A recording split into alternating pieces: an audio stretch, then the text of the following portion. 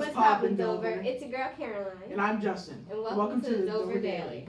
Today is Friday, April 26th, and it's a B day, as in Bulldog. The SAT word of the day is belated, meaning past the normal or proper time.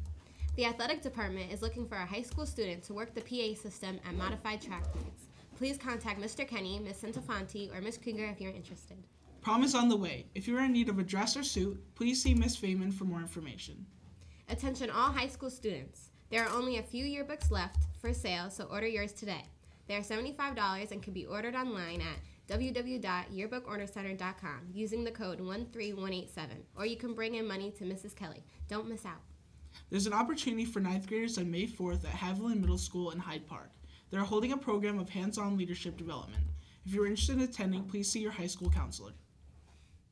Mother's Day is coming. Bracelets will be sold from May 1st through May 8th for $8 each, or $7 for students. All profits will be donated to the Grace Smith House in Poughkeepsie. Now on to Ryan with middle school updates. Good morning, middle school students. It's me, Ryan Holm, with your updates for today. If a middle school student reads three books on grade level, they can earn a free New York Red Bulls soccer ticket to the game against Chicago Fire on June 28th. That's all I have for today, and now on to Carlos with college updates.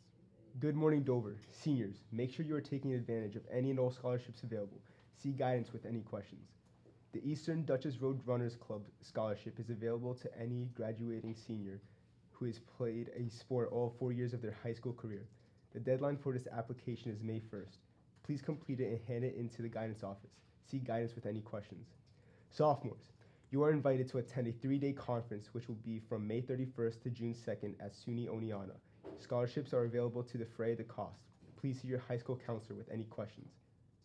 The University of Maine will be visiting on Monday, April 29th, beginning at 10:30. Stop by in front of the dining hall to speak with the representative. Also, the 14th annual college fair will be held on Tuesday, April 30th. We are expecting over 60 colleges, universities, and military recruiters to attend. Now on to Hunter with ESDN. I'm John Parr, and welcome to ESDN. Congratulations to Logan Kuhn throwing a 97-10 in discus and winning the event for Dover on Wednesday's track meet. Also, congratulations to Brooke Leary, who won the girls' shot put with a throw of 700 miles. Today, modified baseball and modified softball have games at Millbrook, and varsity baseball has a game at Pine Plains, all at 4:15. Come support. Now on to Alex with the weather. Good morning, Dover. I'm uh, I'm Alex with today's weather. Today it'll be 62 degrees with periods of rain showers. Tonight it'll be 43 degrees with a possible thunderstorm. That's all I have for today, Dover. Now back to Caroline and Justin. Let's check what the cafeteria about today's lunch. All right. Lunch for Friday, April 26th. We're going to have pizza tomorrow, pizza day. And if you buy your lunch tomorrow, everybody buying lunch gets free ice cream. There'll be ice cream with chocolate sauce or butterscotch topping tomorrow. Our salad of the day is going to be a BLT, BLT salad. Vegetables will be summer and zucchini squash and oven roasted broccoli. Um, and for the faculty tomorrow, we'll have a chicken sandwich. Thank you. And a big happy birthday to Madison Colombo and Aiden Somer. And a special happy birthday to John Cena. And his name is John Cena!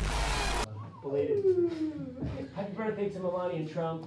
And on that note, have a fresh ride Friday, Dover. A lot of things have changed over the years for the Dover Band. We've personally been there to witness many of them. The important thing to us, and many others like us, is that this program continues for years to come. When we come back after how many years we are gone, we hope to see the band as strong as ever. We would be mortified if we came back 20 years from now to see the band gone. The band is the pride and joy of the school. And our lives. Thank you for watching our feature. We hope that the band will continue to prosper. I'm Miles Williams. I'm Tyler Pelican.